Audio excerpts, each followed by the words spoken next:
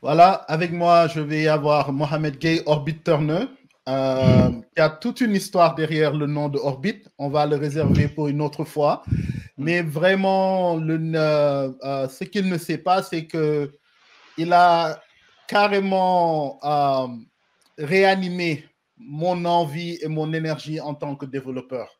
Je développe depuis un très bon bout de temps. Et à un moment, ça devient un peu ennuyeux, si je peux me permettre mais l'énergie de, de, de, Orbit est vraiment contagieuse et ça m'a redonné goût à ce que je suis en train de faire et vous saurez pourquoi. Donc, euh, Orbit va nous présenter le déploiement de Angular sur VPS et aussi il va partager les différents endroits où on pourra le suivre sur euh, Twitter, sur LinkedIn. Et il a un site fabuleux qu'il a mis en place. Donc, euh, je, vous je, vous, je vous conseille vivement d'aller le voir. Donc, Orbit, sans plus tarder, je te laisse euh, avec. Euh, euh, comment on dit le stage? Moi, en anglais français là.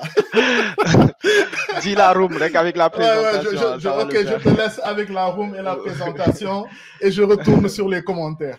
Bon, tout d'abord, merci pour ces, pour ces mots. Et Marcel, toi, tu, tu, fais partie de moi et ça, tu le sais. Tout d'abord, euh, bonjour tout le monde ou bonsoir pour, euh, en fonction des fuseaux horaires. Moi, c'est Mohamed Gay, euh, plus connu sous le pseudonyme de Orbiterner. Et Adi, Adi, je suis en train de partager mon écran, si tu peux juste. So, comme je disais, moi, je suis, je suis plus connu sous le pseudonyme de Orbiterner. Donc euh, aujourd'hui, je vous fais une petite présentation sur comment déployer euh, votre projet Angular sur un VPS. Parce que très souvent, euh, ce qu'on a, c'est qu'on code un gros projet Angular, mais qu'on ne sait pas forcément comment le déployer ou comment le mettre en public. Donc aujourd'hui, on va s'en débarrasser. Moi, je suis lead DevOps à Quality Center actuellement et je suis aussi sysadmin en, euh, temps partiel et aussi euh, entrepreneur dans mes, dans, mes temps libres. Donc, je suis dans beaucoup de choses à la fois. Donc aujourd'hui, ce qu'on va voir avec, euh, avec le déploiement sur VPS, et ne vous en faites pas, ce sera que de la pratique. On ne va pas perdre du temps à faire beaucoup de slides c'est que, par exemple, on va d'abord voir c'est quoi un VPS. Donc, euh, il faut savoir qu'un projet euh, Angular euh, ou n'importe quel autre projet est hébergé, comme vous le savez tous ici, sur un serveur. Donc, ce serveur peut se trouver n'importe où. Et c'est ce qu'on va voir. On va aussi voir c'est quoi Nginx. Je sais que vous en avez tous entendu parler, mais qu'on ne sait pas forcément tous à, à quoi cela sert. Ensuite, on va voir quelques utilitaires qui nous permettent de manager et de bien manager un VPS. Ensuite, euh, la configuration de comment, comment on configure un serveur Nginx euh, ou un serveur web Nginx, oui. Et ensuite, comment sécuriser notre projet avec euh, le, protocole HTTPS et plus, plus particulièrement d'autres, le pare-feu par défaut de Ubuntu. Ensuite, on déploiera notre projet.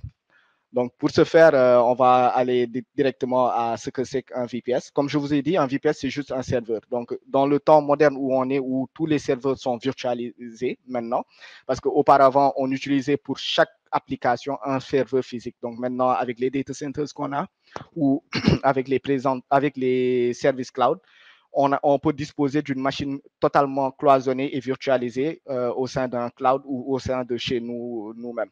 Donc, euh, un VPS euh, vient avec plein d'avantages, c'est-à-dire que tu as un serveur, tu, peux reproduire carrément l'environnement sur lequel tu as, développé ton, ton, projet. Tu peux chaque VPS peut, c'est carrément toute une machine, donc tu peux avoir tout ce qui va avec, c'est-à-dire l'OS et, et, installer tous les packages dont tu veux. Et cela nous permet d'avoir euh, plusieurs projets ou des centaines de déploiements jusqu'à la limite euh, de, des capacités de notre VPS, bien sûr, euh, dans un seul et même serveur. Donc, les inconvénients, c'est qu'un VPS coûte beaucoup plus cher forcément qu'un hébergement mutualisé. parfois, il est la learning curve, c'est-à-dire parfois pour pouvoir manipuler un VPS, il faut des connaissances de base sur Linux et, euh, comment administrer un serveur. Ensuite, euh, euh, c'est des très grandes failles de sécurité parce que si tu ne sais pas comment, tu as carrément une machine qui est exposée sur l'Internet et si tu ne sais pas comment protéger cette machine, tu risques de créer énormément de problèmes. Donc ensuite, on va parler de Nginx, qui est un serveur web, comme je l'ai dit. Nginx, euh, on en entend parler partout, on, le voit partout, mais pour les développeurs euh, qui ne sont pas trop dans le, dans le, dans le DevOps, euh, c'est juste quelque chose qui, nous permet de, de, servir notre application. En réalité, Nginx, c'est juste un serveur web, un peu comme Apache, mais avec, qui vient avec pas mal de choses est très facilement configurable. Donc, tu viens avec des proxys inversés, ce qu'on appelle des reverse proxy, de la mise en cache, de l'IPv6. Bon, aujourd'hui, ça, c'est pas le point d'aujourd'hui, mais euh, pour, les plus pour les plus intéressés et les nerds, vous aurez pas mal d'informations de, sur le slide. Ensuite, euh, il y a quelques utilitaires qu'on va utiliser aujourd'hui, à savoir, euh, on va utiliser Micro, qui est une alternative à Vim ou VI ou Nano dans une interface de commande parce que vous allez le voir aujourd'hui, on va beaucoup utiliser les interfaces de commande, un peu comme les hackers dans les films hollywoodiens. Ensuite, on, a, on, on va voir ça, mais en tout dernier lieu, ça c'est quelque chose que je vous présente qui s'appelle Cockpit et qui permet de manager un serveur à travers une interface web de manière graphique. Euh, pour ceux qui ne sont pas trop à l'aise dans les lignes de commande. Ensuite, on a ZSH qui n'est pas un utilitaire, mais qui peut rendre la, la vie facile sur un terminal. Et ensuite, on a HTOP ou UFW qui sont processus. HTOP permet de manager des processus et, UFW est un gestionnaire de pare Donc maintenant, on va faire place à la configuration. Donc on va tout de suite, on va jump sur le, sur le projet. Donc, il faut savoir que ça, c'est un petit projet que j'ai que j'ai préparé pour la présentation. Donc, euh, en local, on le voit. On a, euh, je pense que Billy a bien fait le rôle de la présentation. Euh, de l'optimisation qu'il faut faire et tout ça. Tout ça, je ne l'ai pas fait. Aujourd'hui, je suis juste un petit cancre qui vient de faire son premier projet Angular peut-être et qui veut montrer comment, euh, server, comment déployer son, son, son, son, projet Angular. Donc, on va voir que sur, sur, sur machine locale, le, le projet fonctionne. Fonctionne, euh, je pense qu'il fonctionne. on va voir. Euh, Voilà, si j'y arrive, bien sûr. Donc, le temps que ça se, charge, c'est un tout petit projet qui permet de regrouper pas mal de, tools. Donc, si vous êtes chaud pour participer dessus, euh, on va le voir. Donc, le temps que ce projet charge, on va voir euh, quels sont les avantages à, à avoir un VPS. D'abord, il faut commencer pour, pour un VPS, il faut commencer avec euh, souvent un, un hébergeur. Donc, quand vous tapez VPS sur Google, vous avez énormément de, d'hébergeurs qui proposent des, VPS. On a OVH, par exemple, on a Hostinger, on a A2 Hosting, on a pas mal de, d'hébergeurs qui, qui proposent des VPS. Maintenant, l'achat de VPS se, fait un peu comme l'achat d'un hébergement euh, virtualisé. Tu payes et ensuite on te communique euh, quelque chose de très important qu'on appelle l'adresse IP que vous connaissez tous. Et c'est à partir de cette adresse IP-là, vous aurez besoin d'un autre truc qu'on appelle un DNS. Donc, un DNS, c'est tout juste quelque chose, euh, le nom de domaine associé à votre site. Je pense que dans le monde de 2022, tout le monde sait ce qu'est un, DNS. Donc après, bien souvent, ce qu'il faudra faire, c'est associer, ce qu'il faudra faire avant de toucher, euh, bien sûr, à, à notre, euh, avant de toucher à notre VPS, c'est d'aller connecter notre nom de domaine parce que là où c'est différent avec un hébergeur mutualisé, c'est que l'hébergeur mutualisé, souvent, il te vend le pack, c'est-à-dire le nom de domaine, plus le, le, le, le, serveur, euh, le, serveur d'hébergement. Alors que pour, pour quelqu'un comme un VPS, tu as d'abord le serveur à part entière et tu as ensuite le, tu as ensuite le nom de domaine que tu achètes à part. Bon, il y a aussi des hébergeurs qui peuvent permettre d'avoir les deux en même temps et de faire la connexion directement. Mais pour, juste pour montrer comment ça se fait, c'est que, bon, là, je suis sur Hostinger, mais ça se passe à peu près de la même manière pour tous les autres hébergeurs. Là, je vois que j'ai un autre domaine, par exemple, euh, futurize.world. Je peux juste venir et dire que le futurize.world, on va le chercher. Euh, c'est ce qu'on appelle des entries DNSA. Souvent, c'est ça. C'est un entry de type A c'est comme ça que ça s'appelle. Ensuite, tu as arrobase, va pointer vers l'adresse IP, cette adresse IP-là. Et cette adresse IP est l'adresse IP du serveur qui contient le site Futurize ou qui va contenir le site Futurize.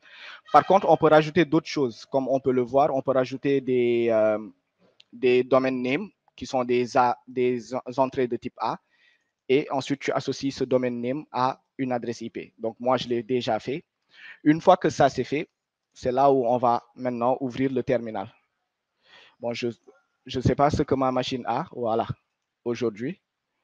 Donc euh, là, je viens de lancer le projet, donc qui va se charger en local. Donc là, peut-être nos masters qui viennent de faire de l'optimisation vont nous dire après pourquoi le temps de chargement initial. J'ai vu quelqu'un poser euh, la question sur euh, le chat pourquoi le temps de chargement initial prend autant de temps parfois sur Angular. Et tout ça, c'est à coup d'optimisation qu'on va y arriver. Donc là, l'application en local permet d'encoder de, avec une librairie que j'ai, une librairie d'encodage que j'ai faite, qui permet d'encoder n'importe quel type de données. Par exemple, si on met un array ou un JSON en, comment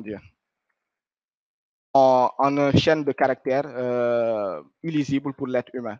Par contre, il ne faut pas mélanger, souvent on me le dit, l'encryptage est différent de l'encodage parce que l'encodage euh, peut être réversible, mais l'encryptage n'est pas forcément réversible. Et l'encryptage souvent nécessite une clé pour pouvoir déchiffrer la valeur. Ensuite, on a ici quelque chose qui va plaire peut-être aux développeurs, c'est-à-dire que c'est un... Bon, là, je vais enlever le, dark mode. Donc, c'est un Uh, what you see is what you get to uh, MD, un peu pour générer vos, vos markdown, vos fichiers README sur, sur GitHub euh, sans avoir à taper les codes markdown. C'est-à-dire que vous tapez comme sur HTML avec euh, la mise en texte et directement vous avez le code qui est généré en temps réel directement ici. Puis vous pouvez copier, voilà, c'est une petite application. Peut-être qu'en participant, vous, vous allez pouvoir l'agrandir. Et donc, on voit que cette application fonctionne bien en local sur, mon, sur, mon, sur, mon, sur ma machine. Donc, maintenant, ce que je vais faire, c'est que je vais aller sur mon serveur. Donc, c'est là où les choses vont un peu se corser. C'est-à-dire que là, on va utiliser ce qu'on appelle un SSH. Un SSH, c'est juste un tunneling, c'est-à-dire euh, une porte qui nous permet de nous connecter à n'importe quel serveur à distance, en moyennant le fait de savoir où est-ce que se trouve ce serveur, de savoir quel est le nom d'utilisateur et comment y accéder. Donc là, je vais, je vais faire quelque chose, je vais me mettre en SSH à mon serveur qui est euh, ici. Euh, on va, vu que j'ai déjà associé le nom d'utilisateur, euh, le DNS à mon serveur. Donc, dès que je ferai ça, Bon, là, c'est une autre raison de sécurité pourquoi je n'arrive pas à me connecter parce que j'ai changé le port de connexion par défaut. Bon, ça, peut-être c'est plus avancé et on verra ça dans une autre session peut-être. Mais euh, il, faut, il faut savoir que souvent, le port par défaut de connexion de SSH, tout le monde le connaît. Donc, euh, la plupart des gens préfèrent euh, un peu le changer pour ne pas avoir à se prendre la tête. Bon, il faut que je me rappelle de mon mot de passe maintenant. Voilà. Et là, on est sur un serveur comme sur Ubuntu, comme sur le terminal Ubuntu. Donc là, si je fais un clear, comme ça, vous allez voir, on est sur un serveur Ubuntu. Si je fais un uname-a, voilà, on est sur un serveur Linux. Voilà, et on a toutes les informations dont nous avons besoin. Donc, par quoi on commence? On l'a vu sur, la démo. On va commencer par installer les euh, différents euh, euh, utilitaires dont on aura besoin. Mais avant d'installer ces utilitaires, il nous faut faire un sudo apt update and sudo apt upgrade. Donc ça, c'est une commande de base à faire sur tout serveur Ubuntu ou parce qu'il y a des serveurs Linux qui viennent avec un autre euh, gestionnaire de paquets. Mais ça, ça permet en quelque sorte de mettre à jour nos listes de paquets de distribution et de nous assurer que notre serveur bénéficiera de, la dernière mise, des dernières mises à jour en termes de sécurité, de patch et des dernières repositories qui ont été créées. Donc, je pense qu'aujourd'hui, on est loin de notre euh, zone de confort en tant que dev où on est tout le temps assis à regarder les codes Bon, moi, c'est quelque chose qui me plaît, euh, le, le, le sysadmin, mais euh, voilà. Donc, le temps que ça se charge, là, on va voir que Ubuntu va, mettre à jour euh, notre serveur et, faire ça. Ensuite, on va faire un petit truc, c'est-à-dire installer les packages dont on aura besoin un peu pour, pour bien manager notre Nginx et tout ça. Donc, une fois que c'est fait, bon, là, c'est fait, on va installer Micro, qui est déjà installé. Micro, qui, je rappelle, est un éditeur de texte. Un éditeur de texte sur terminal, qui un peu comme VI ou Vim. Bon, de toute façon, je l'ai déjà installé, qu'il me dise mot de passe euh, incorrect ou pas.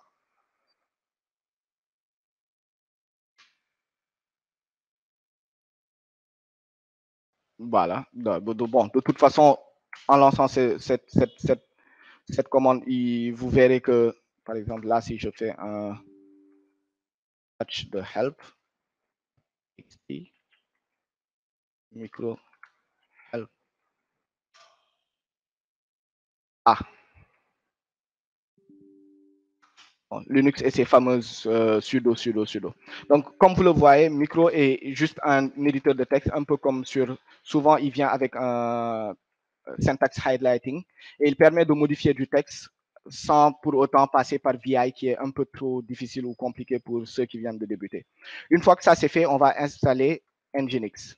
Donc moi, je l'ai déjà fait, mais c'est juste la commande sudo apt install nginx que vous voyez euh, ici. Donc sur Digital Ocean, il y a un lien, j'ai mis un lien sur Digital Ocean qui permet d'installer euh, Nginx sur Ubuntu et de faire toute la configuration de base. Donc euh, la configuration de base qu'on va faire d'ailleurs, ce n'est rien d'autre que bon, sudo apt install, si je me prends bien. Donc, c'est ça le problème avec euh, Ubuntu ou Linux. Vous êtes tout le temps là à écrire des tonnes et des tonnes de lignes de commande, même si maintenant, il y a beaucoup d'utilitaires qui permettent d'automatiser ça. Mais passer par la base, euh, c'est beaucoup plus simple.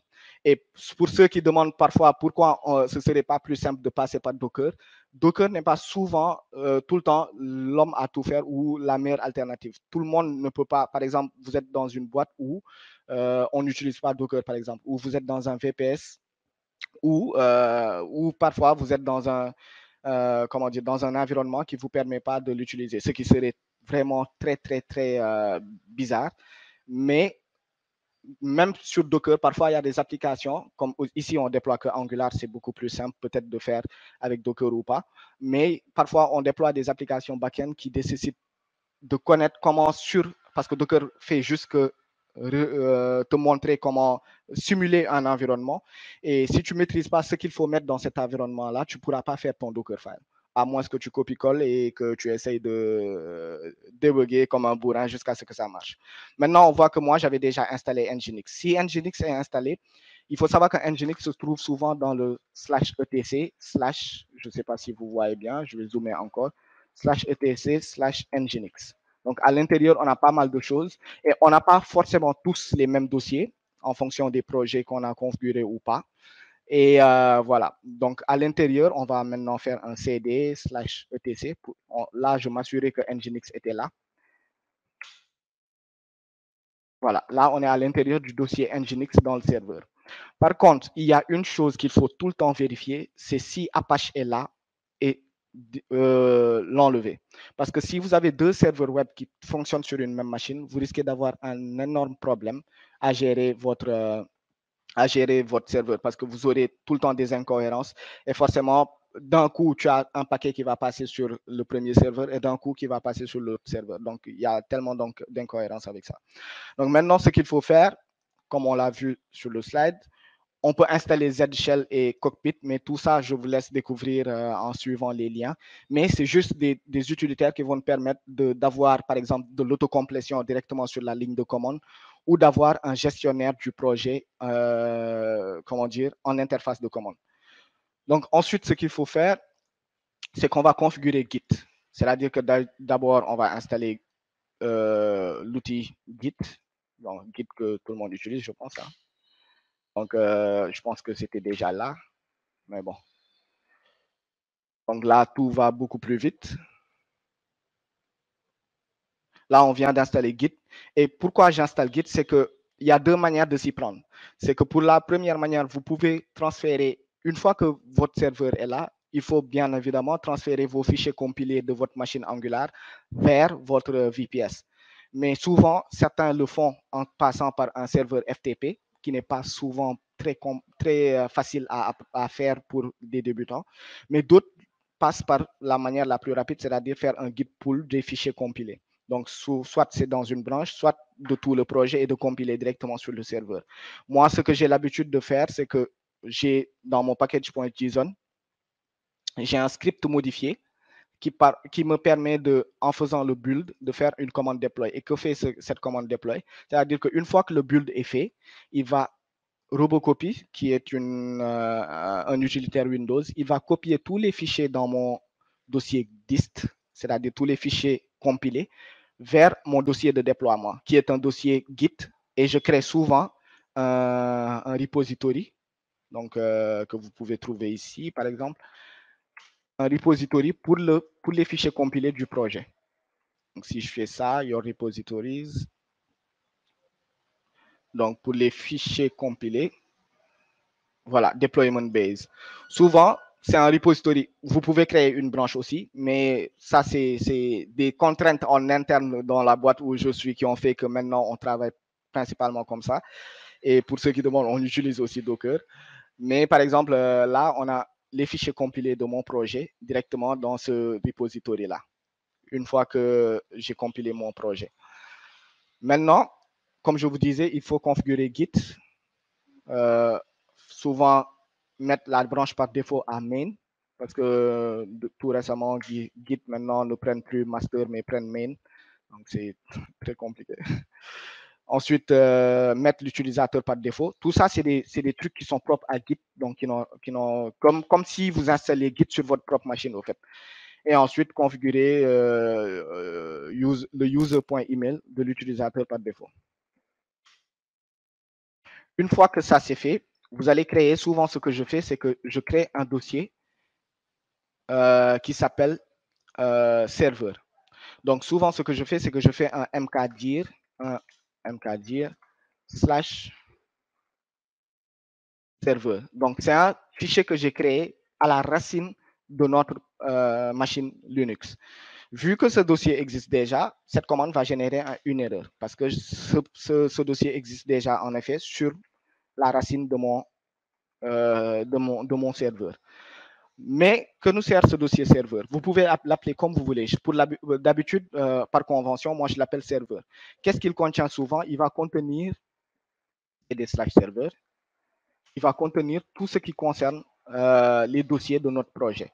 Par exemple, souvent, pour chaque projet, d'abord, quand tu crées un, dossier dans la racine du Linux, il faut t'approprier ce dossier.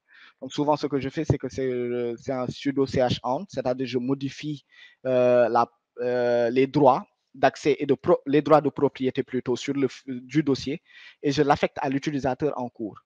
Donc ça, si tu le fais, euh, bon, il n'y a pas de dossier slash serveur en majuscule, mais il y a un dossier slash serveur en minuscule.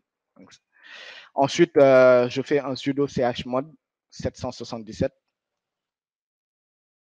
slash serveur encore. Donc, je peux tabuler. Et voilà. Donc, ce dossier va être mis en vert qui veut dire que le dossier, en quelque sorte, ls-l, le dossier A, ls que le dossier maintenant nous appartient et que nous on possède tous les droits sur ce dossier. Ce qu'il faut faire, c'est que à l'intérieur de ce dossier, euh, cd slash serveur, on va créer, par exemple, un dossier qui s'appelle, euh, qui porte le nom de notre projet. Euh, par, exemple, je l'appelle TinyConf. Et dans TinyConf, je crée CD, CD TinyConf. Dans TinyConf, je crée un dossier HTML. Pourquoi? C'est parce que de, bon, CD TinyConf. Et dans TinyConf, je fais un mkdir de HTML. Voilà. Donc, maintenant, si on fait un ls, on a HTML dans TinyConf, dans serveur. Donc, c'est dans ce dossier HTML que je vais faire un git init euh, bon, pour initialiser un repository empty git. Oh, je n'aurais pas forcément peut-être dû faire ça parce que si on fait un ls-a et on va comprendre pourquoi, euh, je peux faire un rm-rf.git. Donc, je peux faire directement un git clone du repository qui contient les fichiers compilés de notre projet Angular. Donc là, si je prends ce repository, bon, ou que je prends ça directement ici, et ensuite, il y a deux types, il y a deux manières de cloner euh, un repository GitHub. C'est-à-dire qu'il y a des manières, il y a par la forme de SSH, souvent c'est ce qu'on utilise. Dans le, dans le, vous le verrez dans, le, dans la présentation, j'ai mis quelque chose, un lien vers euh, comment on le fait en SSH. Mais souvent, ce qu'on fait, c'est qu'on va directement en HTTPS parce que c'est beaucoup plus facile et qu'on fait euh, un git clone du projet. Donc, réellement, ce qu'il a fait, c'est qu'il a créé le projet dans un sous-dossier euh, ls-a.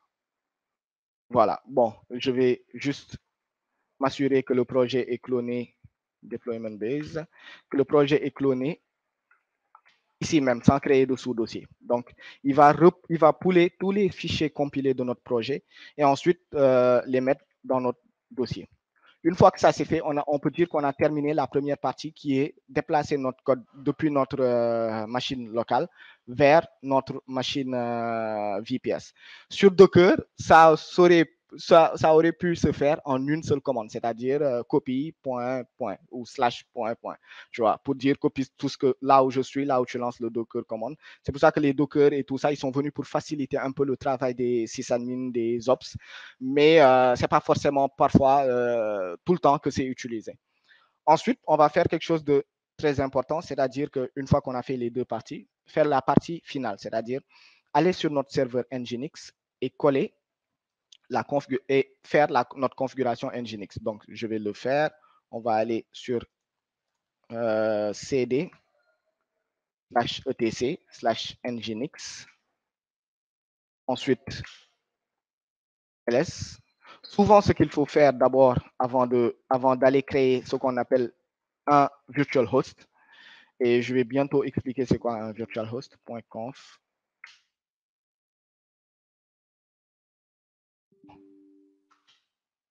Maintenant, dans Nginx, dès qu'il est installé de base, il a certaines, configurations euh, qu'il met. Et souvent, il charge dans son fichier par défaut euh, pas mal de choses. Donc souvent, ce que je fais, c'est que moi, j'ai un fichier virtual host template que après je vais partager, peut-être euh, que je vais ajouter au slide, qui permet de configurer un serveur HT, le Nginx en type serveur, mais euh, mainstream. C'est-à-dire que tu pourras avoir plusieurs, mais, plusieurs virtual hosts sans avoir de problème. C'est quoi un virtual host? Un virtual host, c'est que, comme vous l'avez vu, j'ai créé un dossier serveur à la racine de notre projet Linux. Mais ce dossier serveur-là, il peut contenir pas jusqu'à 100 projets Angular. Tout dépend de quelle est la capacité de notre, de notre serveur. À chaque à chaque euh, nouveau sous-dossier créé, je dois venir sur Nginx et lui dire que, par exemple, et lui signaler que j'ai un site maintenant qui correspond à tel dossier. J'ai un site qui, où ses composants, ce qui permet de le lancer, se trouvent dans tel dossier. Et c'est ça qu'on appelle un virtual host. C'est-à-dire que tu as différents virtual websites. Bon, c'est pas des virtual websites, mais différents virtual hosts dans un même seul, dans un même host. Maintenant, ce qu'il faut faire, c'est qu'il faut aller créer, si ça n'existe pas déjà, le dossier sites euh, available qui est tout juste là. Bien, souvent, ça vient par défaut euh, avec euh, Nginx, mais il se peut que dans certaines distributions Linux comme voilà comme Arch ou tout ça, que ça vienne pas avec. Donc, il faudra créer ce dossier qui s'appelle sites available et ce dossier qui s'appelle sites enabled. Maintenant, si on va dans le sites available, on va voir que dans ce serveur, j'ai déjà une, deux et trois sites, et même quatre sites qui sont déployés. C'est-à-dire qu'à chaque fichier de configuration, ça correspond à un site. Ça ne veut pas dire que ces quatre sites sont disponibles dans le même serveur. Pas forcément. C'est-à-dire que sur Nginx, tu peux créer et configurer plusieurs websites, mais n'en activer qu'un seul. Et ça, c'est ce qu'on va voir. On va d'abord, je vais faire un cadre de Orbitbox qui correspond à notre site.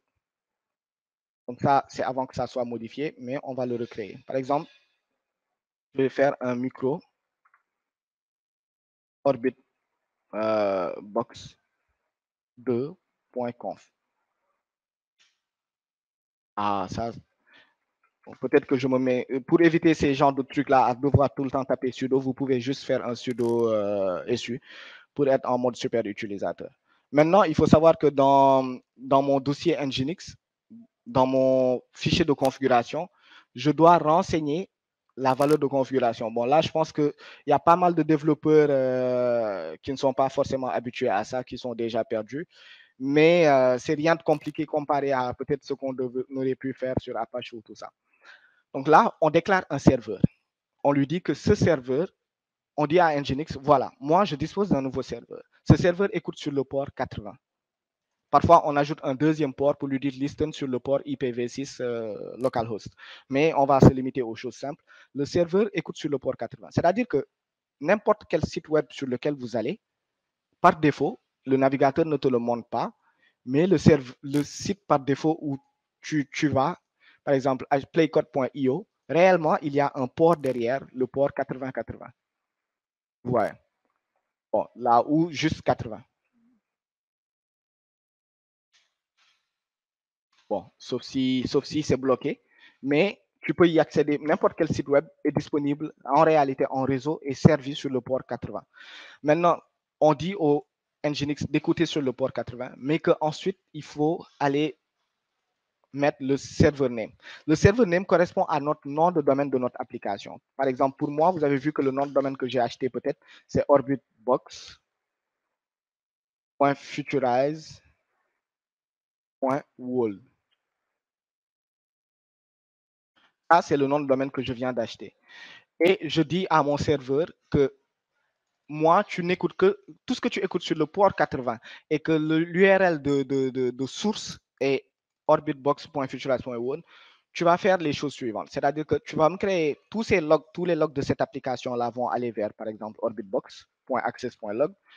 Tous ces logs d'erreur aussi vont aller vers orbitbox.error.log, par exemple et la location. La location, c'est une directive euh, Nginx qui permet de dire où se trouve ce que je dois servir, ce que je dois servir en tant qu'application. So, location slash et route, on dit où se trouve le projet. Et c'est là où on mettra l'emplacement de notre projet. Donc, pour nous, on va dire slash en partant de la racine du projet. Euh, là, on va mettre le nom du dossier, orbitbox slash HTML ouais, serveur Orbitbox HTML qui correspond à la route qu'il y a sur notre, euh, à partir de notre slash serveur. Ensuite, ça, c'est des directives qu'il faudra toujours mettre quand il s'agit d'un projet Angular, c'est-à-dire redirigement tout le trafic vers index.html parce que le point d'entrée d'un projet Angular ou des, souvent des projets single page application, c'est le index.html. Et ensuite, ça, c'est juste une directive par défaut qui lui permet de lui dire, si tu ne trouves pas index.html, va voir s'il y a un fichier index. Sinon, va voir s'il y a un fichier index.html. Sinon, index.html.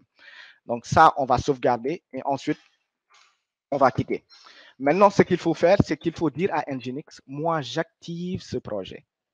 C'est-à-dire que là, si on va sur la présentation, je vais activer ce projet. Et ça, pour le faire, il faut dire, il faut faire ce qu'on appelle un symlink.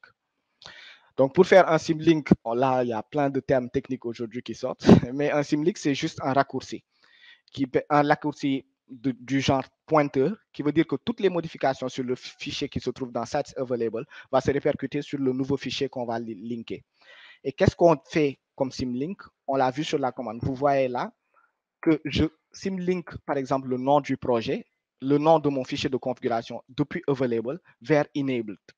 Et donc ça, pour ceux qui comprennent anglais, c'est très clair, c'est-à-dire le projet que je viens de configurer qui se trouve dans le dossier des projets disponibles, mets-le mets -le en même temps dans le dossier des projets activés. Donc, ça, si je le fais, donc le projet orbitcomcom.pos n'existe pas.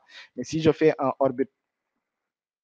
orbitbox2.conf, parce que j'ai déjà la configuration qui marche, donc je ne vais pas la supprimer. Vous voyez, il vient de me créer un symlink. Et si je vais dans CD point point pour que je sorte un dossier au niveau ls et que je vais vers sites enabled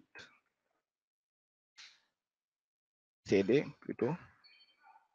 Configurer Nginx est 10 000 fois plus facile que euh, Apache. Ça, je vous l'accorde. Je, je vous l'accorde.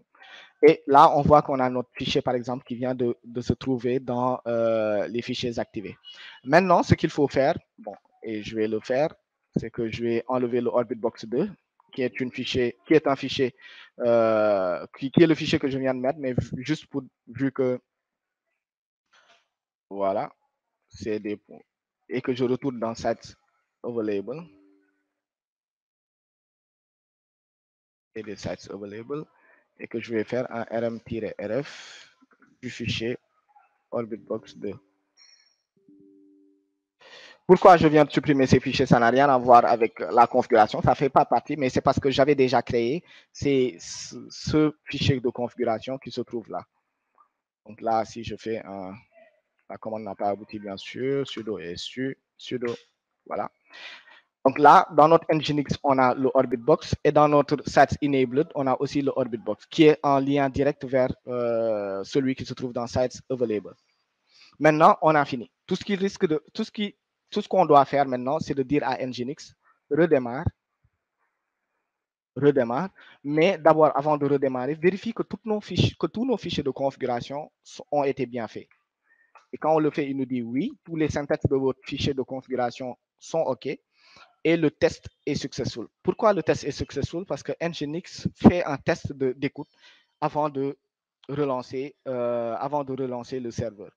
Maintenant, on peut croire que notre site va fonctionner, mais non. Parce que tout d'abord, on a une chose, c'est-à-dire que notre site est disponible qu'en HTTP, c'est-à-dire pas en HTTPS. Et pour pouvoir avoir ce cadenas qu'on recherche tous quand on va chez un site, il faut qu'on protège ce site. Et pour pouvoir le protéger, il faut qu'on fasse ce qu'on appelle un, qu'on active un certificat SSL. Bien souvent, tout ça, ça se passe, par exemple, si on prend un serveur mutualisé et qu'on fait un déploiement en PHP, tout ça, c'est pris en compte de base dans, dans le serveur euh, mutualisé.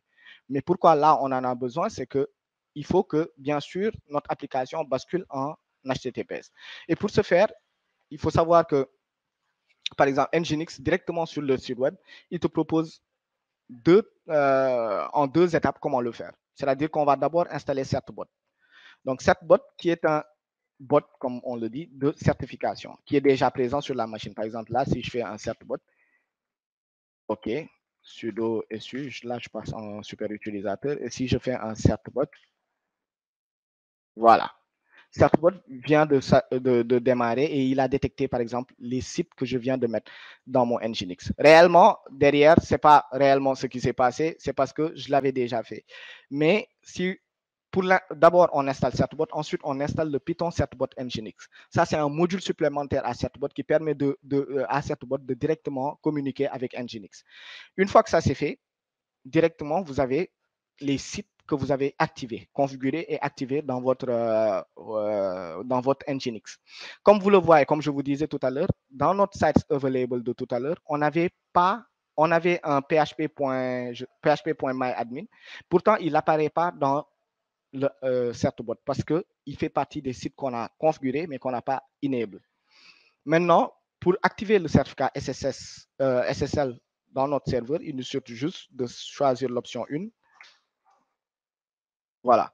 Bon, là, il nous dit que le certificat a déjà été trouvé. Est-ce que vous voulez le, ré, euh, le attempt to reinstall this, existing certificate to pour renouveler et renew and replace the cert? Limit 5 per day. Donc, tu peux, même avant la date limite de ton certificat, le renouveler. Donc, dans, le cas, dans notre cas, on va prendre le 2 et il va faire un renew de l'existing certificate. Et vous voyez, il y a quelque chose de bien, de très important qui vient de se passer. Deploying certificate to virtual host, ça. Donc là, maintenant, si on ouvre notre virtual host de tout à l'heure, là, je vais quitter. Micro, notre virtual host. On voit qu'il y a quelque chose qui vient de se passer. C'est-à-dire que le fichier de configuration qu'on avait écrit pour le Nginx vient de tout être changé. Pourquoi? Parce que cette boîte qui est très cool, vu que Nginx est facilement manipulable et que ses directives ne changent pas, il va, il va détecter la configuration de base qu'on vient de faire et dire, ah, maintenant, vu qu'on me demande de mettre SSL, je vais m'occuper d'écrire le reste de la configuration et de tout changer et d'appliquer la sécurité concernant cette application. Donc, c'est ça qu'il a fait. Et il a fait pas mal de choses. Il a enlevé le listing qu'on avait mis là, qu'il a déplacé vers un nouveau virtual host. Et il dit, tout ce qui passe maintenant vers cette host-là et forcément, tout trafic qui passe vers, ce, vers, ce, vers, ce, vers cette URL-là, vers notre serveur, est euh, un return 301, pour ceux qui savent, les codes HTTPS, c'est un code de déploiement, c'est un, un, code de redirection, et est redirigé vers un HTTPS. C'est-à-dire que tout trafic HTTP vers notre orbitbox.future.wood sera redirigé en HTTPS vers euh, le même serveur.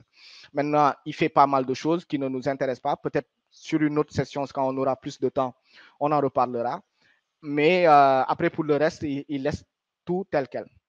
Et maintenant, si on, si on fait la même commande que tout à l'heure, par exemple, je vais quitter et juste faire la même commande que tout à l'heure, redémarrer Nginx, tout est configuré et tout est testé. Qu'est-ce qu'il nous reste à faire? Ah bah, juste aller tester notre application, je pense. Donc là, si je vais sur orbitbox.futuras.world, on a un projet Angular qui est déployé et qui est sécurisé. Et je pense que ça n'a pas pris 30 minutes. Maintenant, voilà, donc c'est un projet PWA. Et il faut savoir que les projets PWA, par exemple Angular, ne fonctionneront jamais quand ton certificat HTTPS n'est pas configuré. Donc là, par exemple, si j'installe le projet, euh, voilà, le projet est installé et voilà, on a l'application qui est disponible en PWA dans notre bureau. Donc, ça, c'est tout ce qui concerne le déploiement. Tout a été fait. Maintenant, peut-être euh, dans le futur, certains voudront, euh, comment dire, voudront forcément peut-être ajouter une couche de sécurité dans, ou euh, voilà, une couche de sécurité à l'application ou bien d'autres configurations. Tout ça, c'est faisable par ce que je vous avais dit, comme le UFW, qui est un gestionnaire de pare-feu. Donc là, bon, sudo su. Donc si on fait ufw, il n'est pas là. Donc sudo apt install ufw. Voilà. Et si on fait ufw, not not card, uh, ufw app list. Voilà. Là, on a, par exemple, tout ce qui est disponible dans notre serveur. Et ce qu'on peut faire avec UFW, c'est lui dire d'accepter tel ou tel trafic, c'est-à-dire d'accepter que les trafics HTTP, d'accepter que les trafics HTTPS ou de n'accepter que tel port ou tel port.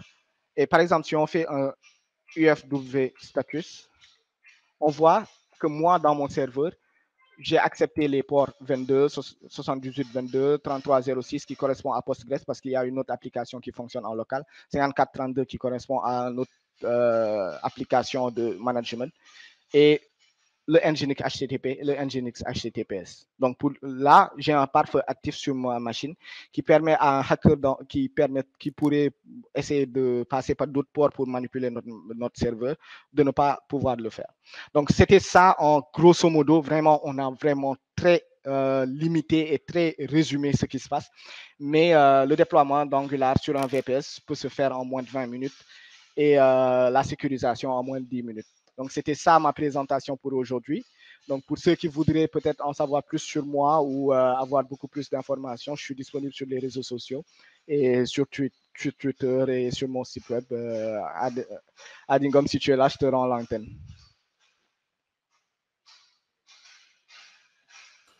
Ok, donc on passe l'antenne. C'est comme ça qu'on dit ça en français. Hein? Ouais, c'est ça. on se passe l'antenne. ok, euh, superbe, super présentation. Euh, l'adage de tout ce que je sais, c'est que je ne sais rien. Tu viens de l'édifier. Je ne sais absolument rien.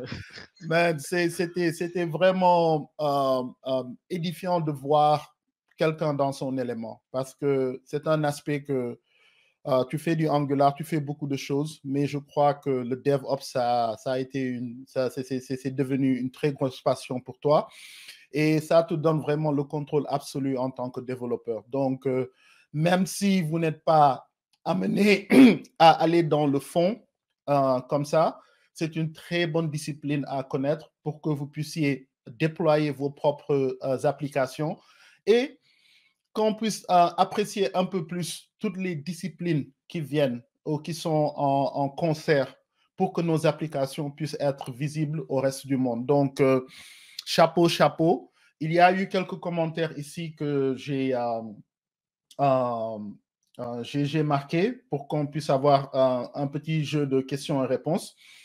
Et là, par exemple, je crois que Sanix euh, qui parlait de Docker, et je crois que tu as un peu répondu à cela. Et, mais il y en a un autre ici qui nous a demandé qu'est-ce que vous pouvez nous dire sur le déploiement avec des plateformes comme Netlify ou Heroku, qui sont encore d'autres d'autres options. Si tu as peut-être un ou deux mots sur ça. Bon, comme, comme, comme, comme vous le savez, hein, euh, ce déploiement, par exemple, en, en termes de, en utilisant un VPS ou un Nginx, il faut savoir que c'est pas forcément qu'on a besoin d'acheter un VPS, mais c'est juste que, par exemple, avec Adi, on a eu à le faire. Parfois, vous avez des projets qui nécessitent d'avoir ça. Par exemple, on a eu un projet où on devait travailler sur un Raspberry Pi, par exemple, et on devait déployer des applications dessus. Sur un Raspberry Pi, tu n'as pas euh, forcément, bon, tu peux, tu peux le faire avec Docker et tout ça. Mais euh, dans ce projet-là, dans ce cadre-là, on avait besoin de déployer l'application telle qu'elle. Et par exemple, là, on a utilisé euh, la méthode que vous voyez.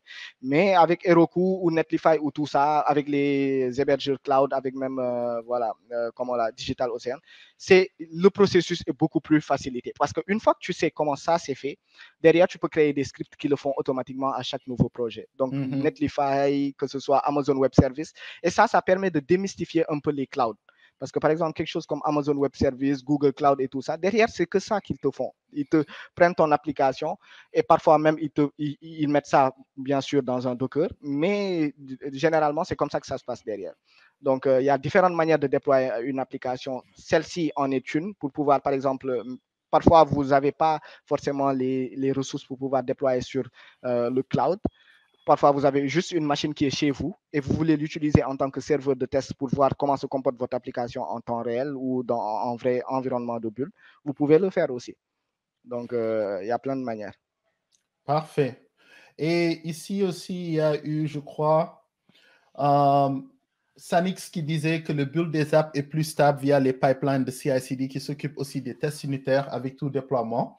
Mais il a eu euh, quelques commentaires, mais il s'est dit aussi mais bon, ce sont juste des outils, chacun sa recette. Donc, je crois que euh, quand tu parlais des différents cas d'usage, des différents cas de figure, des différentes situations, le bon outil pour le bon, pour le bon déploiement, si on peut Exactement. le dire de cette manière.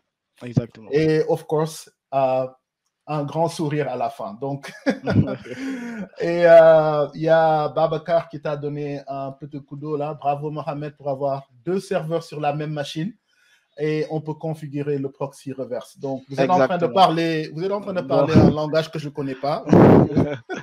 ouais, comme je l'ai dit, on a essayé de de, garder la chose beaucoup plus facilement parce que on peut faire un reverse proxy, on peut faire du load balancing, on peut faire énormément de choses avec Nginx. Mais comme tu le dis, oui, on pouvait utiliser un reverse proxy pour avoir deux serveurs. Mais quelle est l'utilité peut-être parfois d'avoir deux serveurs dans une même machine? Tout dépend des use cases, encore une fois. Parce que euh, c'est pas parce que, par exemple, moi, je maîtrise AWS que toutes les applications que je vais développer dans ma vie vont forcément euh, aller sur AWS. Il y a des use cases qui vont faire que dans certains cas, tu auras besoin de ça ou, de plus ou moins ça.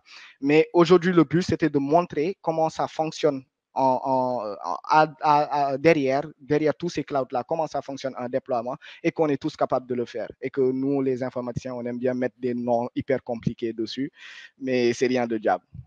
Ah, cool. Et avec ça, je crois que quand tu as fait actuellement le déploiement, euh, ça a hmm. été un peu rapide quand tu as montré cette partie-là et ça, Sanix disait, est-ce qu'il a été build ou est-ce que c'est, est-ce que c'était en mode dev quand tu as Oui, c'est, j'avoue qu'à un moment donné, je me suis dit, ah oui, j'aurais pu build d'abord l'application, comme ça, il voit comment ça se passe. Mais hmm. effectivement, l'application a déjà été, été build. Hmm. L'application a déjà été build et ensuite j'ai juste, c'était juste pour skip le processus de build souvent qui prend du temps que je l'ai fait à l'avance avant de commencer la présentation et ensuite j'ai fait le git push dans un repository que j'ai pull dans notre serveur. Et tout ça, comme vous, vous le savez, hein, on peut utiliser des outils pour l'automatiser comme les GitHub Action, euh, voilà, et pas mal de choses. Oui, je crois que dans les commentaires, quelqu'un a parlé de GitHub Action et Hooks. Donc, euh, parfait. Euh, voyons voir, je crois que dans le live, quelqu'un parle, est-ce que le build, il est versionné? Est-ce que le, oui, le build est versionné et vous pouvez le voir sur l'application en, en prod. Peut-être si je partage un peu mon écran deux secondes. Euh, si oui, vas-y, vas-y, il n'y a pas de souci. Voilà. Et donc, je vais t'ajouter au stream. Voilà, vous voyez que sur l'application d'ailleurs, vous avez euh, le versionning. Et c'est fait, bon, souvent mes versionning, je les fais sur, comme, comme pas mal de devs, hein, directement sur le package.json. Au moment du build, il va appeler un script deploy qui lui-même va faire, euh, après, qui, avant de faire le build, il va faire le version patch. Donc, à chaque nouveau build, mon, ma la version de l'application va passer à une version supérieure et directement, ça va en, en prod, vous verrez la version de l'application. Mais simplement, parfait, parfait, parfait. Je crois qu'on va en rester là. Vraiment, euh, comme je disais un peu plus tôt après la présentation de Billy, Si vous êtes là pour la connaissance de surface, vous êtes au mauvais endroit. On va aller dans le fond aujourd'hui. Donc, euh, merci à Orbit. Merci d'avoir pris le temps. Je crois que quand j'ai annoncé le TinyConf, et euh, maintenant, ça fait même pas un mois, mhm. il a pris son temps pour faire toute cette présentation-là qui est, qui est unique à TinyConf. Euh, pour vous simplement vous donner un, un, un, aspect de son niveau de dédication. Donc, euh, merci et uh, uh, power to you, man. Donc, merci, euh, merci, man. allez, donc tout est enregistré. On va partager cela. Si, vous, si vous ne suivez pas Orbit Turner, vous manquez beaucoup de choses. Suivez-le sur Twitter, suivez-le sur LinkedIn et sur les différents réseaux sociaux. Allez, à très bientôt. Donc,